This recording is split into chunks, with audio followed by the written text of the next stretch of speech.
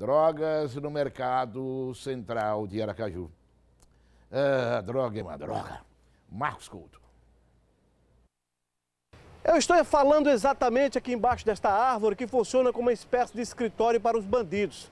Eles se reúnem aqui em frente ao mercado Albano Franco, no centro comercial de Aracaju. E aqui traçam estratégias para arrombar os carros, utilizando pedras como essas aqui, ó.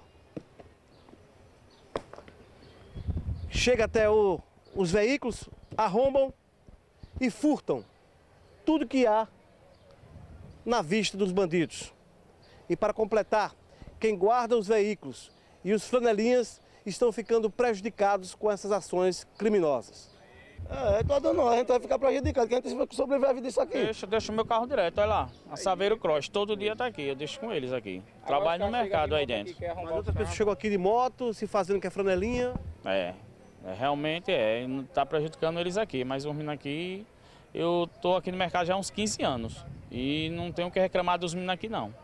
As Dá um câmeras do quiosque também. Botar né? umas câmerazinhas ali, ó. Tem a câmera lá, vai saber quem é um ladrão. Se ficar lá, vai saber que tem outra lá, vai saber quem é um ladrão. Porque além dos donos dos carros, vocês estão sendo prejudicados também. né? Lógico, que porque as pessoas estão pensando que é própria gente roubando, que a gente está ganhando nosso dinheiro. Nós ganhamos tudo bem aqui. Nós ganhamos- eu mesmo ganho meu dinheiro, sustento minha família daqui. Então vocês cobram assim uma mais câmeras do CIOSP. Mais câmera, botar uma câmera ali no posto para que a gente vai guardar e eles também lá vai ver quando a gente fazer algum gesto assim para saber quem é o ladrão. Ele vai saber quem é o ladrão.